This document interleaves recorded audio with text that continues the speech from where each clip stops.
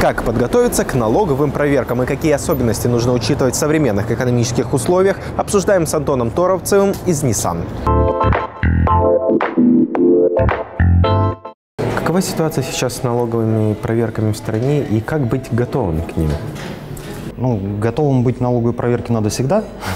Вот, в принципе, особенно крупные налогоплательщики, как правило, знают, когда их придут проверять, они примерно представляют, когда это происходит. А с точки зрения, тут, наверное, стоит смотреть не с точки зрения, когда они придут, а с чем они придут и что они будут смотреть.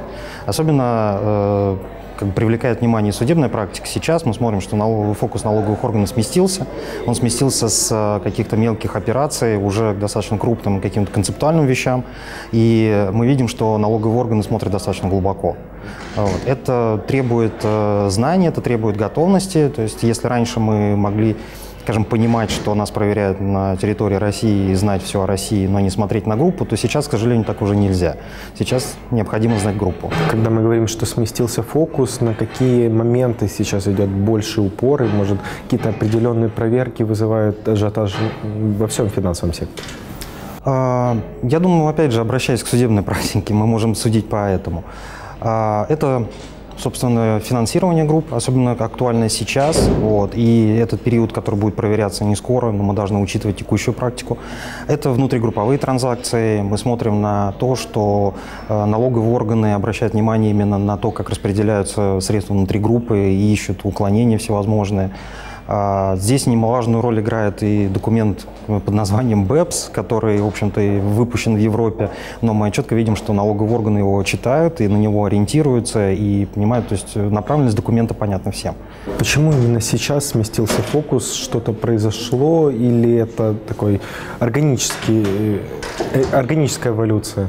А, я не могу сказать, что она органическая, но это эволюция. Это эволюция, э, эволюция налоговых органов. Они действительно теперь разбираются. Это не просто контроль, что мы бумажки все правильно оформили. А, они действительно пытаются понять бизнес. Ожидаете ли вы определенной прозрачности и там, электронного документооборота с налоговой, какие-то инновационные вещи в этом секторе? И как много времени должно пройти, чтобы они были внедрены? А, вы знаете, как бы прогресс уже идет. Вот, собственно, мы его видим, видим прекрасно и ощущаем на себе. Это, собственно, декларация по НДС, которая у нас этого года действует. Мы видим, что это достаточно существенный шаг вперед, что и для налоговых органов, и для налогоплательщиков. Однако еще очень много предстоит сделать. Э, то есть с точки зрения электронного документа оборота в рамках налоговых проверок, я знаю, что очень многие налогоплательщики очень скептически относятся к предоставлению документов в электронном виде и по-прежнему предоставляют их в бумажном.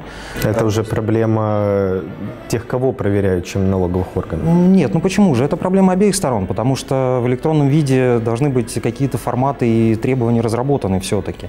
Вот. Но в целом, а, собственно, слушая налоговые органы, и мы смотрим на то, что они делают, мы видим, что да, налоговые органы все сильнее и сильнее идут к электронному документообороту. Это определенный выход на какую-то новую ступень уже, потому что, ну, даже вот для простых граждан, то есть личный кабинет налогоплательщика, вот, э, это действительно очень удобная вещь, когда не выходя из дома можно решить очень многие вопросы с налоговой, там не появляясь даже.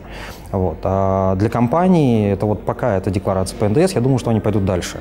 И э, это добавляет прозрачности, безусловно. То есть здесь уже э, нет разговора, если раньше очень популярная тема для налоговых органов была там, не знаю, отсутствие подписи насчет фактуре там или что-нибудь такое формальное, то при электронном документообороте это уже отходит. То есть уже какие подписи, кто подписывает. Там электронная подпись, она цифровая, ее подделать или сказать, что это не установленным лицом уже нельзя.